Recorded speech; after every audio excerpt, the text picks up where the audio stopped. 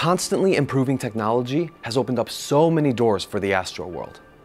Tools that were once nearly impossible to get have become so much more affordable. Now, we're able to view the endless stars above us and take a peek into the past life of the universe. As long as it's dark, that is.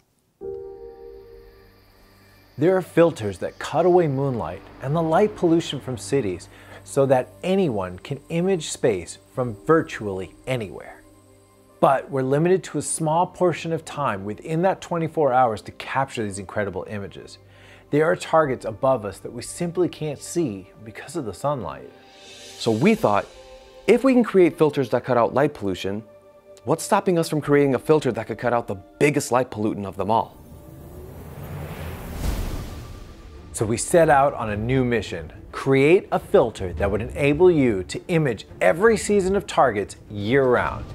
Imagine being able to wake up in the morning, step outside and image your favorite deep sky target. So OPT called me and said, we have a new filter we'd like you to try out. And I said, okay, is it a narrowband filter? Is it a light pollution filter? And all they said was, it's the last light pollution filter you'll ever need. We love shooting deep sky objects. So when OPT came to us and asked us if we wanted to use a filter to shoot during the daytime, we couldn't say no. A filter that can block out sunlight? I mean, OPT has created some incredible things in the past, but this has taken the astro world to a whole new level. We thought it was absolutely crazy at first, but there are filters out there designed to limit the power of the sun before it hits your sensor. So the technology is there. We just have to build upon it. At one point in time, the thought of being able to fly seemed impossible until two brothers pulled off the biggest stunt ever. If the Wright brothers could cancel gravity, what's stopping us from canceling daytime? We took existing technology and brought it back to the drawing board. A formula that limits what we didn't want to see and captures what we did. A formula that captures the perfect bandpass. We went through countless manufacturers, creating dozens of different filters, each with their own bandpass, taking each one through extensive research one after the other. No results. We would take exposures upwards of 20 minutes long and have nothing. 20 minute exposure, got nothing. It was hard. It was getting discouraging. We started thinking that there was just nothing we can do. We started believing that our ambitions were just too high. We had one more filter to test out, and the day we tested that filter was the day everything changed.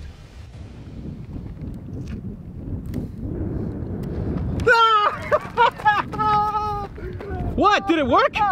After months and months of tests and failures and doubt, we revolutionized astrophotography.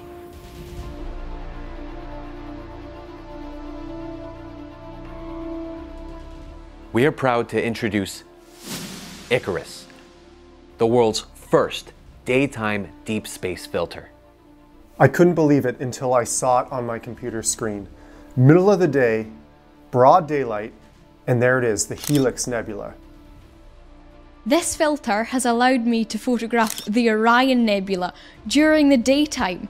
Now normally Orion is already set behind my neighbours' houses and after sunset I can't image it. It's a no-go for me. But with this filter, I can image it during the day before the sun has set and before Orion has gone below the horizon. There is a finite amount of times that you can say that you've created a revolutionary product. This is that product. We believe that this filter is going to change astrophotography forever. You no longer have to wait for the right time of year to image your favorite targets. Now we can shoot summer targets in the winter and winter targets in the summer without ever having to worry about the sun interfering with the process ever again. And just when we thought we had it all figured out, there was one more problem that we solved, and that was cloud coverage. During our research, we discovered a polarizer that is able to remove any and all clouds from the sky. Dude, dude, come check this out. This is awesome. There's no clouds. Clouds? No clouds. Clouds? No clouds. Not only can we shoot during the daytime, but we can now shoot even under full cloud coverage. Because I live in Scotland and I do astrophotography, clouds are a really big issue for me here. With this filter, no longer an issue. I shot Orion not only during the daytime, but through partial cloud. I never thought I could just wake up in the morning, have my cup of coffee, and start imaging the Witch Head Nebula. I no longer have to check my weather apps. I don't have to look at the satellite. I can just go outside any time now, clouds or not. It's amazing. I have no words for this. We don't have to worry about the sun ruining our images anymore. Once it's about to be daylight, we just pop on the filter and keep imaging. And with these cloud sunlight filters, the universe becomes so much more accessible. I cannot wait to see what OPT produces next. We have completely removed cloud coverage and sunlight as factors for astro imaging. OPT has always strived to push the boundaries of this incredible hobby and improve the quality of life for all astrophotographers. It's only a matter of time before we push those boundaries even further.